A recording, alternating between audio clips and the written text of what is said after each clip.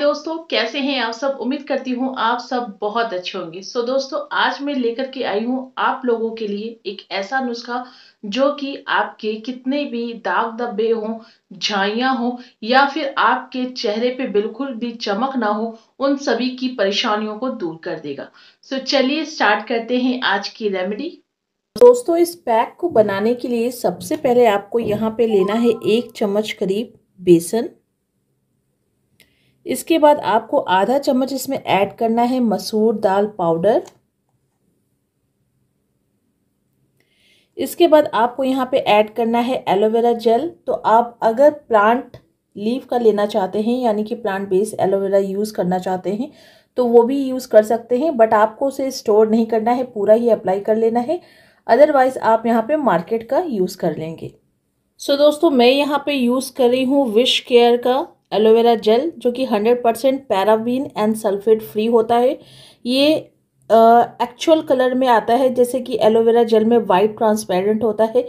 उसी कलर में ये आता है और इसमें कोई भी स्मेल नहीं होती है। जैसे कि एलोवेरा जेल में कोई स्मेल नहीं आती हल्की सी जो uh, उसकी अपनी स्मेल होती है वैसी इसकी स्मेल आती है। तो, तो हम यहाँ पे एलोवेरा जेल ले लेंगे।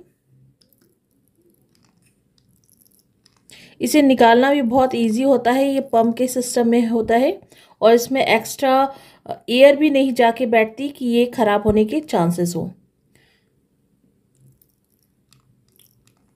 सो वन एक चम्मच फुल स्पून मैंने यहाँ पे एलोवेरा जेल का ले लिया है। इसे पहले आपस में मिक्स कर लेंगे इस तरीके से।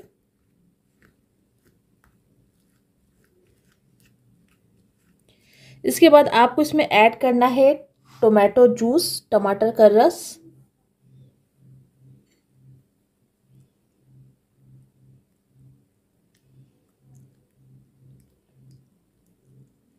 हल्का हल्का स्क्वीज़ करते हुए इसके सीड्स ज़्यादा ना जाने पाए और दो चम्मच करीब आपको टमाटर का रस यहाँ पे ले लेना है। इसे भी अच्छे से मिक्स कर लेना है।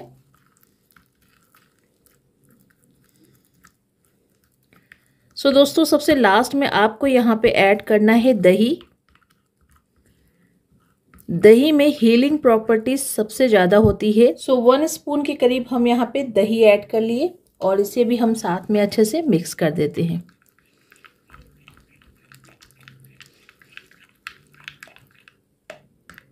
तो चलिए इसे अप्लाई कर लेते हैं फेस पे और हमारा पैक यहाँ पे रेडी है और अब हमें इसे अप्लाई करना है अपने फेस एंड नेक एरिया में। तो आप इसे किसी ब्रश की हेल्प से या फिर अपने फिंगर की हेल्प से पूरे फेस एंड नेक एरिया में लगा लेना है।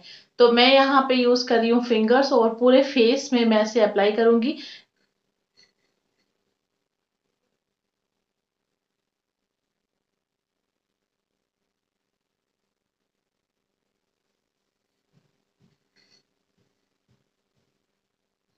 इसमें जितनी भी चीज़ें इस्तेमाल की गई हैं, वो हमारे फेस स्पॉट्स को दूर करने के लिए ब्लैमिशेस को दूर करने के लिए बहुत ही ज़्यादा फ़ायदेमंद होती हैं।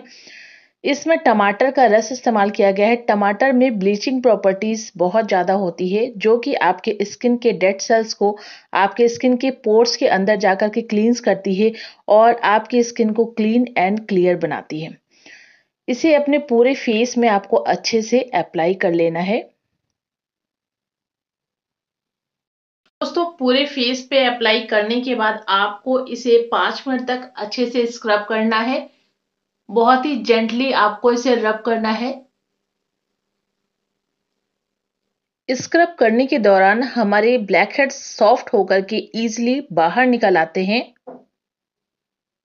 तो दोस्तों पाँच मिनट अच्छे से मसाज करने के बाद आपको इसे छोड़ देना है दस मिनट तक ड्राई होने के लिए एंड इसके बाद आपको इसे ठंडे नॉर्मल पानी से वॉश कर लेना है।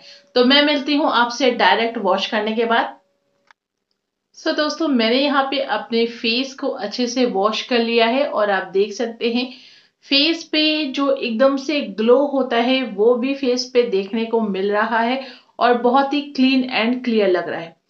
इस फेस पैक को आपको हफ़्ते में तीन बार और दिन में केवल एक बार इस्तेमाल करना है इसे बनाइए इस्तेमाल कीजिए अपने फीडबैक मेरे साथ शेयर करना बिल्कुल नहीं भूलिएगा सो चलिए फिर से मिलते हैं एक और न्यू हेल्दी ब्यूटी वीडियो के साथ तब तक के लिए बाय बाय टेक केयर अपना ध्यान रखिए have a good day bye